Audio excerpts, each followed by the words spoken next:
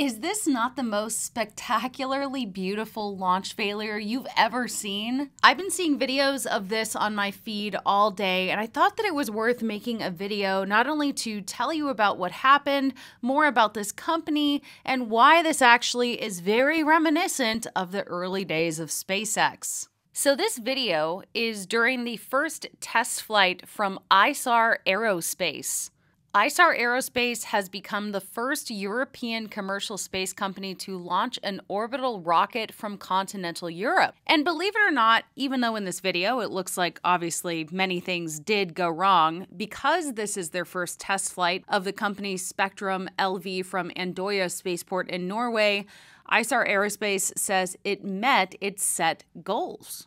So, according to their press release, they're calling this successful, which is totally the right attitude to have. After ignition of its first stage and liftoff, the launch vehicle successfully cleared the launch pad, was terminated at T plus 30 seconds, and fell directly into the sea in a controlled manner. And they add they'll now have a substantial amount of flight data and experience, which will pave the way for future missions.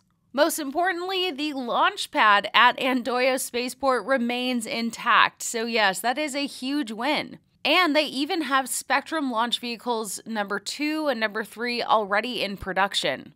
The CEO posted Our first test flight met all our expectations, achieving a great success. We had a clean liftoff, 30 seconds of flight, and even got to validate our flight termination system. With this result, we feel confident to approach our second flight. And Tom Mueller, who was SpaceX employee number one and the famous designer of the Merlin rocket engine, wrote At least it cleared the pad and acquired good data. This is about equal to the first flight of Falcon 1. A good start, and hopefully, next flight makes orbit. So I think that this is just a really interesting, you know, comparison to the early days of SpaceX. And listen, they looked exactly like this. The nice thing about this video is that it's so much better quality than when SpaceX was first getting the ball rolling in the early 2000s.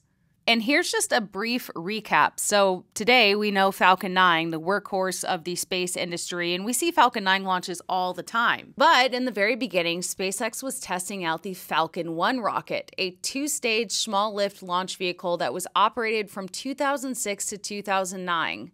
Falcon 1 was only launched five times, and the first three launch attempts failed. SpaceX was originally only going to have three launch attempts, three tries to get it right, but they decided to pull a Hail Mary, and Falcon 1 achieved orbit on its fourth attempt in September of 2008 with a mass simulator as a payload. And so after this, the Falcon 1 was retired in favor of the Falcon 9 version 1.0, the first version of, of course, the Falcon 9 that we know today. So it's just very interesting to see the similarities um, and, you know, potentially a new European version of SpaceX trying to get into the very hot and uh, growing space industry.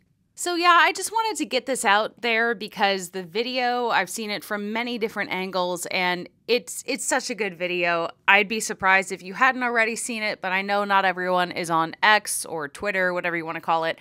So, I thought that you would enjoy it. I also wanted to point out that we have a lot of stuff coming up this week. So, on Monday, March 31st, not only will we have a press conference with NASA's Crew 9 astronauts Suni Williams and Butch Wilmore, as well as Nick Hague.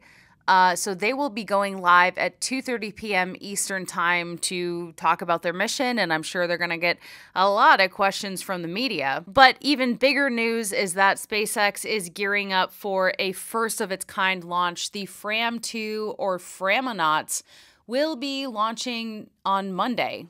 SpaceX is targeting Monday, March 31st at 9:46 p.m. Eastern Time for Falcon 9's launch of Fram2 to a polar orbit from Launch Complex 39A at NASA's Kennedy Space Center in Florida. There are three additional launch opportunities within the approximate 4.5 hour window, and if needed, backup opportunities are available Tuesday, April 1st, starting at the same time.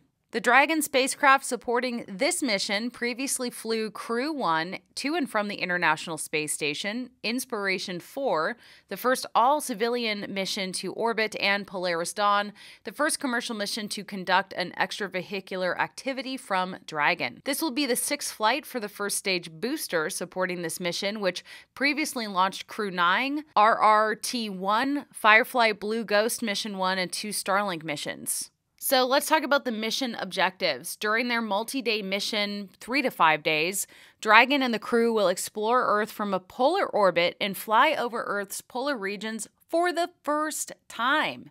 They'll also be conducting 22 research studies designed to help advance humanity's capabilities for long duration space exploration and understanding of human health in space. They are planning to take the first X ray in space, perform exercise studies to maintain muscle and skeletal mass, and grow mushrooms in microgravity. I hope they don't have psilocybin. That would really make you feel out of this world. Additionally, after safely returning to Earth, the crew plans to exit from the Dragon spacecraft without additional medical and operational assistance, helping researchers characterize the ability of astronauts to perform unassisted functional tasks after short and long durations in space. Wow, that's pretty crazy. So I'm super excited for that. I will be on a plane to Taiwan and uh, actually two planes to get to Taiwan. And Taiwan's pretty far away from Texas. So I may be in the air when this happens, but I wanted to put this video out now so that you know about it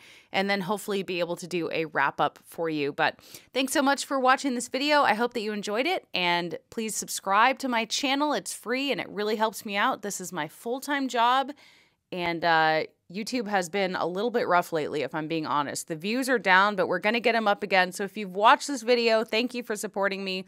I'll see you in the next video.